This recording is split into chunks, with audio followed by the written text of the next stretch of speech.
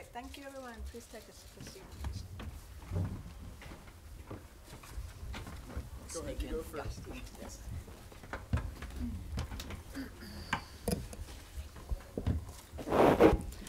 Good morning, everyone. Um, thank you for being here with us this, uh, at the co-chair opening press conference. My name is Fon Mathuros, head of the media at the World Economic Forum. I have, I'm very honored to be the person to introduce you to our seven co-chair, outstanding co-chairs here. We will start in, in this order, in terms of the speaking order as well. So we have the Prime Minister of Norway, Erna Solberg, Chetna Sinha, founder and chair, Mann Deshi Foundation from India. Ginni Rometty, chairman, president, and CEO of IBM Corporation. Christine Lagarde, managing director, IMF. Isabelle Kocher, CEO, ENGIE Group, France. Fabiola Gianotti, director general, CERN, or European Organization for Nuclear Research, I think. Yeah. Sharan Burrow, General Secretary, International Trade Union Confederation, ITUC, in Belgium. Thank you, everyone. So um, we would start already with Prime Minister. Share with us your hope and aspiration for the meeting. First, I'd like to thank for the opportunity to co-chair uh, the whole conference. It's of course an honor. Uh, also, it's an honor to co-chair with so great ladies as this, and not just because they are ladies, uh, but also because they are representing a cross-sector of uh, our societies uh, in the world, and uh, all of the driving forces that we need to have behind our reach for the global goals. If I can highlight two uh, areas where I would like to have focus during this uh, days of discussions, and I think it's vital for reaching the global goals, the SDGs in the future. It's um, number one, uh, corruption, illegal financial flows. I think that's one of the biggest challenges we have. If we are going to have a sustainable development in the world, we need to talk about, we need to focus on, and we need to to uh, work against all type of illegal flows of uh, finance and of corruption. This is what fuels conflicts. This fuels uh, terrorism. This fuels secu- security threat. But it also undermines the possibilities for national uh, national states around the world to, in fact, tax make it possible to achieve social goals for their societies. That's why I think um, a focus on, on um, corruption and illegal financial flows are one of the most important. And, and at week where business meets politicians and NGOs and decision makers of the world, I think we have to say that this is also what will undermine inclusive growth in a lot of countries if we can't uh, combat it. There is a lot of money in this world that could go to development if we had been able to fund them into the uh, organized channels. And uh, in these days where we discuss Me Too on all levels, I think we would need a sort of a Me Too campaign on corruption and illegal flows because we think we need to see and show who is taking money, who is bribing others, and uh, how can we make sure that this is unacceptable in all of our societies. Promoting peaceful, joint, and inclusive societies is uh, SDG 16. It's a key to achieve all of the other goals that we have. And uh, I think it's important in uh, context where society meets decision makers, where business meets decision makers, to talk about this. If we want to have do something about climate change, it's also important to do that. My second issue, of course, is gender equality, which I think is um, not rep represented by this panel, but it's also, which is not very, uh, well, it's very unequal, but it's, uh, uh, on the other hand, an important uh, manifestation of uh, women into a lot of very important parts of our societies. Still, getting women into paid work simply means that we are using the entire pool of talent in our societies. The barriers to women's participation is still large in many societies, and denying women equal rights has no valid ground for the future, and uh, it doesn't make sense economically or politically. So, education is the first step. Uh, I work hard on making sure that we, through the focus on the SDGs, get education to all, both boys and girls, but especially make sure that girls are fulfilling 12 years of secondary education so that they have a basis to start their life on. And I think if you want to discuss inclusive societies, and I'm happy that Norway was pointed out uh, as uh, number one on the list of, uh, of the WEF last uh, night, but I think if you want to start, education is the starting point because that's when you groom the talent of all young people. So that's my two focus area. Thank you. Thank you very much, Prime Minister. Chetna, you have something, what is your objective and goal for this meeting? Thanks. I'm honored to be a co-chair at World Economic Forum, and I'm proud to be a part of this accomplished group. I represent the voices of a fractured world, voices of the rural women in India, some of them really poor. And 20 years back, when many of our women wanted to do, wanted to plan their lives, wanted to open a saving account, banks were not ready to open them their accounts. Why? Because they are not affordable client. And so our women said that we want a safe place to sa- saving, safe and secure place. And that's the reason we started a Mann Deshi Bank, a first rural women bank in India. And this bank provides saving, lending. We were the first bank to launch the pension fund for rural women. And when women got the banking, they said, we want access to knowledge, we want access to finance. And so we started the first business school for rural women. Imagine Indian women, rural women, going to business school. It's so our bank was also providing the doorstep banking. While working with women for nearly a half million women for last three decades, I want to share the lessons I've learned from them. The first lesson I learned is never provide poor solutions to poor people. Our women are running bank, our women are, are getting doorstep banking, they are running radio. So I again emphasize that I learned was never provide poor solutions to poor people. Microfinance industry is big in India. It's a huge, it's a 20 billion dollar industry. Why this microfinance was successful? Because women took the loan, repaid in time, and they proved that we are bankable. They proved that there is a business in them. But now our women are looking beyond poverty. They're just not looking only getting beyond out of a poverty, but they want to go towards prosperity. So from microfinance to micro enterprise.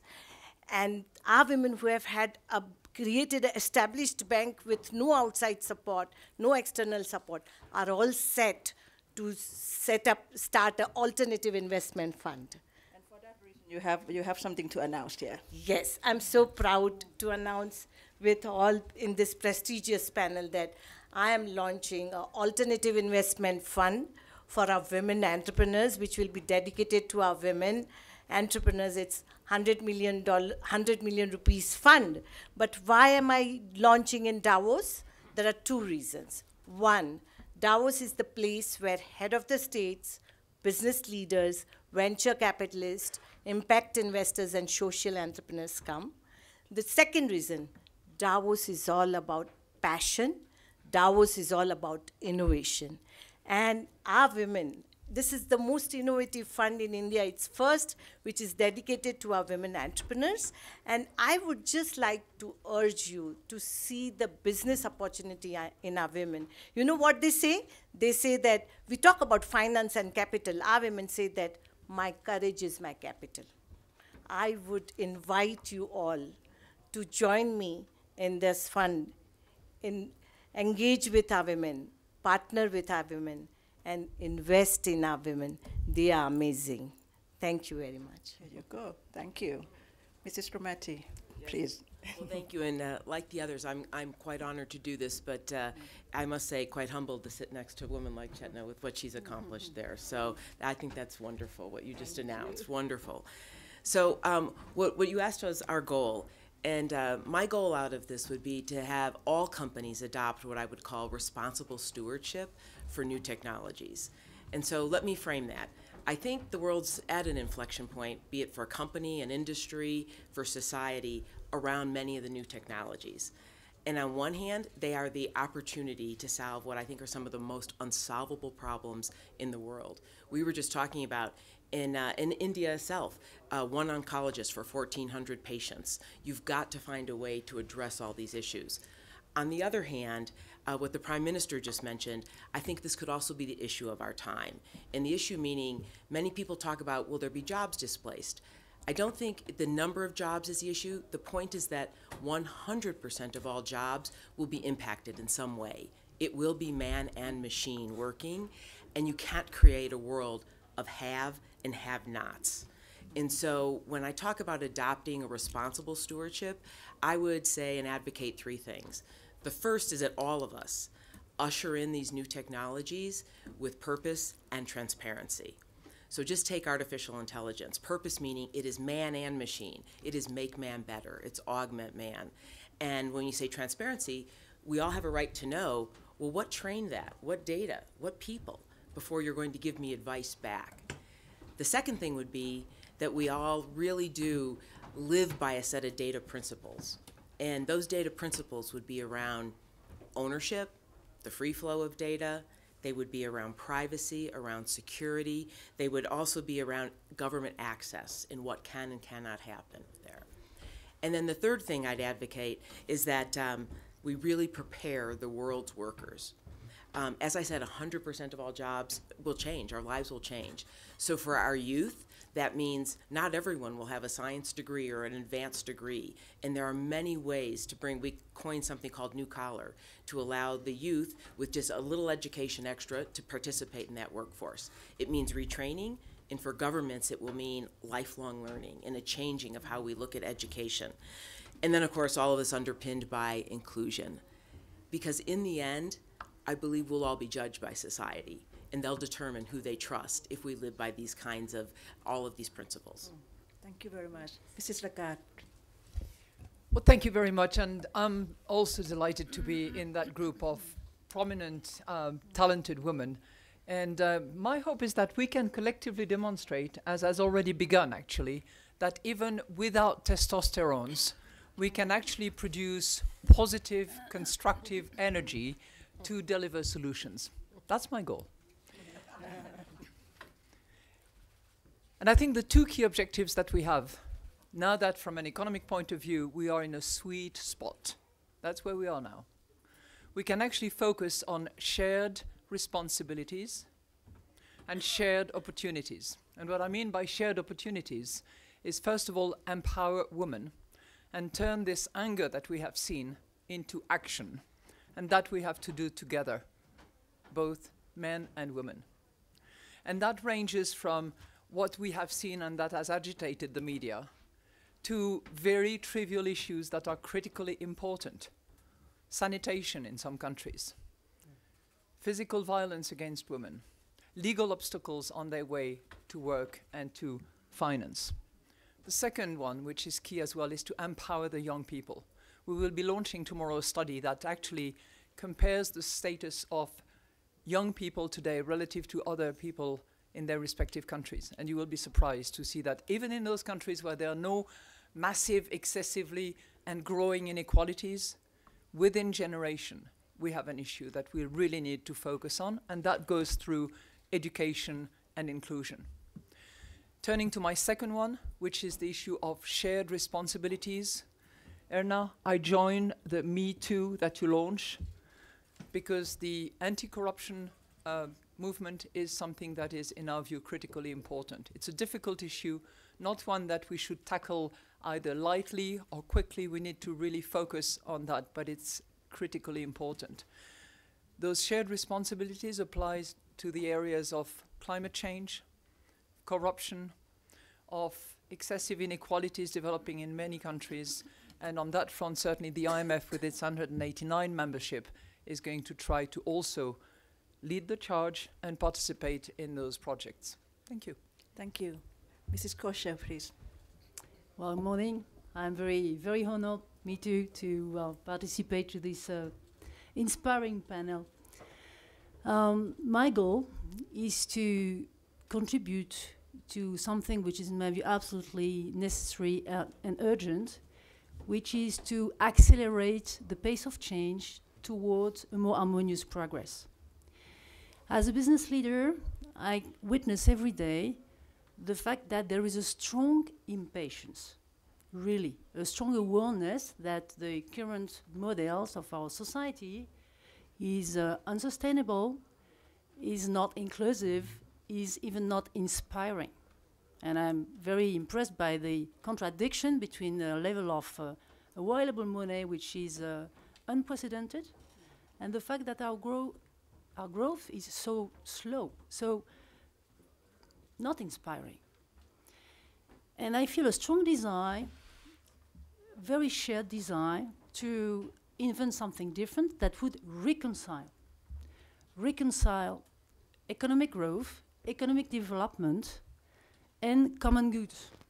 That the famous en même temps, at the same time, the favorite words of our French president. Because people, they refuse now to choose between the two. The second thing I'd like to witness is that over the last decade, we, well, we experienced the emergence of a lot of new technologies that effectively are an answer. As uh, an energy player, I can tell you that in the energy field, it is spectacular. Renewable technology, they are now on par with fossils, beating them in uh, now a number of geographies. And not only they are clean, but they are agile, flexible, rapid to implement. And it means that they are also a um, way to accelerate access to energy, which is a way to reduce gap of poverty between the big the regions of the world. And what I'm just saying is that the energy field, but not the, the only one, is typically a case where we can now focus our technologies, business models, on solutions that not only limit the damages, but repair, heal the fractures.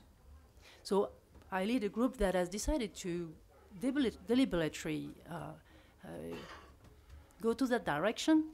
It's not an easy road at all. It uh, requires a strong orchestration. It requires strong choices also. We um, dispose 20% of our activities to refocus, reinvest, redirect our resources to new business models that are effectively able to reconcile. And we started experiencing the fact that we increased our pace of growth and our value creation level. Now the bad news is that the pace of uh, change is alarmingly low. And then it's necessary to accelerate. And in my view, one of the uh, main uh, issue is to massively direct um, flow of money towards harmonious progress. So my expectation, expectation is mainly this one for this week to identify the roadblockers and to systematically deal with them. Thank you very much. Yeah. Mr. Gianotti, please. Good morning. I'm also very pleased and honored to be part of such a distinguished panel of co-chairs, and I'm also grateful to uh, Klaus Schwab and his team for uh, choosing a scientist among them. So, surprise, surprise, my goal for this Davos uh, forum is that people become increasingly aware of the role of so of science to address societal challenges. So I would like to anticipate and share with you a couple of thoughts that we will develop more in the, in the, in the discussion in the coming days and even today in our plenary um, panel. Science can play a key role in connecting people and creating a shared future in a fractured world because it is universal and unifying. Universal because it's, it's based on objective facts and not on opinions. An example Simple example. An apple falls in the same way whether it falls in Isaac Newton's garden in the England of, of the 17th century or anywhere else on earth in any time uh, of history. Unifying because the, the quest for, for knowledge and, and the passion for, for learning, for understanding are shared values and aspiration of the, all humanity. Scientific knowledge has no passport, no gender, no race, no political party. And I would like to bring my own experience. I work at CERN, the European Laboratory for Particle Physics, where we run the, the, most powerful accelerators on Earth to understand the fundamental constituents of the universe. And CERN brings together 17,000 scientists from all over the world, representing more than 100 nationalities. Some of them come from countries that are in conflict. And yet they all work together peacefully, animated by the, the same passion for knowledge in pursuit of common goals. Certainly, places like CERN and other research institutions cannot directly solve geopolitical conflicts, but they can help break down barriers. They can help grow the, the young generation in a respectful and tolerant en environment that values diversity. I think places like CERN and other research institutions can plant seeds of peace. Second, scientific knowledge is the, is the fuel of progress because it pushes back the limit of what we know. And of course, progress is fundamental for the future of society. Without innovative ideas and breakthroughs from scientific research, progress sooner or later stagnates. Another example, the light in this room is not just the results of the smooth evolution of the candle. It's not by building more colorful and bigger candles that you get this light. It required a genuine jump and a qualitative jump in the knowledge. And history often shows that often major breakthroughs come from fundamental research. Think of quantum mechanics and relativity, two big discoveries of last centuries. When they were discovered, they were developed, they were considered useless knowledge, so abstract and so far away from any practical use. And yet, without quantum mechanics, modern electronics based on transistors will not exist. And without relativity, our GPS will not work. So I cannot emphasize more the importance of fundamental research and applied research or scientific research in general for the progress of humanity and the need for strong financial support by the governments. Thank you. Thank you very much. Sharan? Well, thank you, and I applaud Klaus Schwab for his courage to send a strong message with uh, a, an all-women panel, and I'm delighted to bring the voice of Labor to that. I have a simple message. The world needs to negotiate a new social contract. We need to change the rules. 85% of the world's people in our global polling tell us they want the rules of the economy, the global economy, rewritten. Why? Because they're, they're the people dealing with the historic inequality, the global wages slump, the massive unemployment, the deep anxiety about jobs for themselves and, and for their children. And indeed, of course, it's women and women workers who face the consequences of misogyny, of uh, sexual harassment, of incredible levels of violence against women in our societies and in our workplaces. And climate devastation. Again, it's working people who are on the front lines of both the loss of uh, lives and livelihoods as seasons change or you have massive events. We know, we know that if we're going to heal today's world of work, and that's what the economy is based on. Sadly, as much as the CEOs are important and the investors are important, without working people, you simply wouldn't have an economy. And it's today's working people who are actually uh, part and parcel of a, a global workforce in trouble. We need to heal the global workforce of today if we're going to deal then on a strong foundation to, with uh, Industry 4.0 and the promise and the threats of, of technology and of course uh, of uh, climate imperative for industry transition. We need just transitions in those fields. So you have to get the fundamentals right, and it does require a new social model, a new economic model where we take the strength of today that works for everybody and we rid ourselves of the, of the greed that's dominated the, uh, the, the worst of it. I would say on technology, we want to see four things. We want to see human deployment of technology, absolute remaining control of human deployment of technology, human control of global of uh, data commons, human mediation, and we want to see human rights and labour rights. This is the 70th year, the anniversary of the UN Declaration of Human Rights. If people and humanity mean anything, we need these deployed in to the social contract that will see us build a secure future.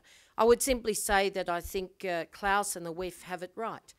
If we are not prepared to stand up and negotiate, negotiate collective solutions, cooperative solutions together to build the future, then we will reap more of the same. Human beings bought us this fractured world. We built this fractured world. We can now say we need to learn some lessons and rebuild on the basis of a common humanity, a common solidarity, where the economy does really serve people and our planet. And of course, to creating a shared future. so um, we will take a few questions. We don't have too much time, so I can see. Can we go with the ladies first? Good morning, ma'am. My question is with Madam Lagarde. Can you also say your name and Yeah, your organization? Yeah, sure. Uh, Vasundhara from All India Radio, country's public service radio broadcaster. Uh, my question is that IMF have termed India's Indian economy is the fastest growing one. So, according to you, uh, what is the reason behind the changing perceptions uh, about the Indian economy? And question number two, Prime Minister Narendra Modi is going to deliver a speech uh, in a short while from now. So, what is your expectations from the speech? Thank you. Mrs. Lagarde, So forecast growth for India is 7.4% coming. Uh, it is indeed of the largest, all largest economies, uh, the fastest growing uh, in, in the world at the moment.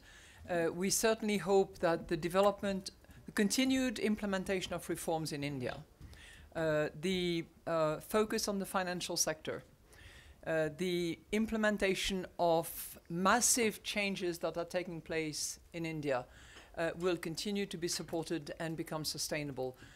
I personally hope very much that there will be a focus on the inclusion of Indian women in the economy. We have published research that shows that if Indian women were participating at the same level as Indian men in the economy, which of course is a bit of a myth, but it's the way you calculate those things, uh, Indian economy would increase by 27%. Uh, so that that is clearly something that needs to happen. The level of discrimination, the roadblocks that Indian women in particular face uh, in the rural areas uh, are phenomenal, and I applaud Chetna for actually being very active on that front. let's go. Uh, Peter Strudavicius, Televisa, Mexico. Uh, Mrs. Lagarde, it closer? Mrs. Lagarde has mentioned that the panel of co-chairs is testosterone less. What will be your message to Mr. Testosterone who's coming to Davos Mr. Trump? Who would like to take that? Well, my, my most important message to the American president is that we need a United States that's in the international arena, that works on our mutual work towards the global goals about uh, economic development, about uh, climate change, about uh, gender equality, about education. I mean, w- the the um, 193 leaders and uh, uh, of uh, of 193 countries have have underlined the 17 global goals, and we need to see a United States that aligns with this and works hard because we only have 12 years left, and we have some really far-reaching targets to reach. Would like to? Anyone would like to add to that? Okay. Yeah. We take I that. just, I just would say that let's hope that Donald Trump's not simply a distraction from the challenge of negotiated global solutions. Because if you actually retreat and you are creating more risk than actually solutions with your leadership, then that's a problem for all of us. There's a front row here. Um, Erika Bjerström, Swedish television. Two quick questions. First, Madame Lagarde, you said that there's a sweet spot that we're living in right now, but it also seems it's a time of paradox. The economy is strong, yes, but the democracies are receding, even stagnating. And I'm wondering, in what way does this worry you? And also, Madame Kocher, being one of the most influential businesswomen of the world, you know that free trade is under attack. What is your best argument how free trade actually can help development and the issues that you've been addressing? Thank you. Thank you. So you're right that the economy is currently in a sweet spot, uh, with you know 3.9% forecast growth for 2018 and 2019, and you know a very um, um, well scattered around the world uh, growth. It's something that we have not seen in the last 10 years or so. What we are saying is, you know, it's it's when the snow stops that you clear the roads. And now is the time to actually take advantage of that sweet spot from an economic point of view to focus on the issues that are possibly undermining democracy, that are fueling populism. And we've talked about some of those, you know, whether it's excessive inequalities, whether it's lack of training, whether it's the feeling of exclusion. Those matters should be addressed, can be addressed. and the financial means are available, and as Isabelle was saying, need to be harnessed in the right direction in order to address those issues. We will take the last two questions here and over there. Oh, sorry, uh, my apologies. Very rapidly, I'd just like to, to say again that everything that boosts innovation, and that is to say, ability to answer to what is for all of us a big challenge, which is to direct, even redirect, business and action of all the stakeholders of society towards something which is inclusive, inspiring, uh, and sustainable is good. And free trade is part of that. Thank you. Yeah. Uh, Joel Hills from ITV News in London. Forgive me for bringing the focus back to President Trump, but he does lead uh, the largest economy. Um, uh, one, here's, here's a thing for you. I wonder, do you think that some of the comments that President Trump makes about women damages attempts to empower women? Chetna. In fact, I would say that, you know, when uh, President Trump started, uh, immediately after the elections, started making some comments, that actually brought women together. That actually made them so clear that, you know, we are not going to listen to that.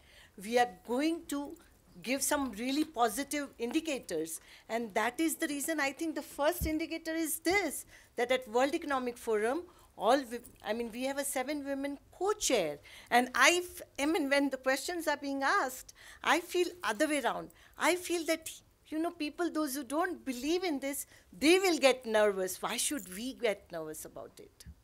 Thank you. We have one there, and we would take the last one there. Yes, go yes, ahead. this is Tobias Bossert from Swiss Television. So it's wonderful to see all these women on a panel. I think it's a really rare picture we see here. So there's one question or two questions to Ms. Rometty. Um, you are uh, often here at the WEF and the, the, the participation of uh, women at the WEF is raising. Do you feel any change uh, in behavior here uh, of, the, of the leaders? That's question one. And question two, I mean, there was the Me Too debate. Do you have any observation even here at the WEF or in the business world concerning this Me Too. So similar observation here. Yes. So wh why don't I start with your latter your latter question? Um, I, look, I think, and I, I've come from decades and decades of a company that has honored and set the gold standard for inclusion. And to me, what WEF represents and what inclusion represents uh, under all of this is about having everyone bring their best to whatever it is they do and that that will give you the best company, the best country, the best society.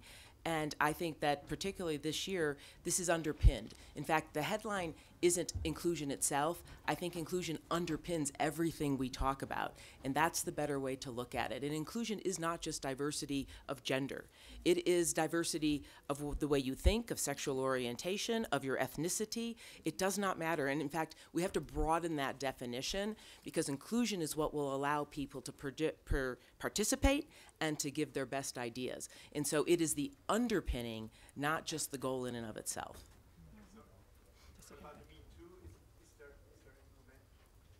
Well, I, I, look. I think on Me Too, there, there's no, there is obviously not tolerable in any situation in any any country under any company in any way you look at that.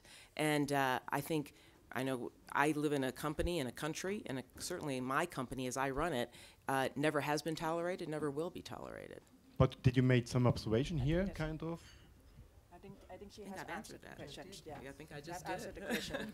so uh, because we're running out of time, our co-chairs will be with us throughout the next four, three, four days. There'll be a plenary session at 6 p.m. today. You can come join us again. And thank you everyone for joining us today and enjoy. Yes. Thank you. Thank yeah. you. Thank you.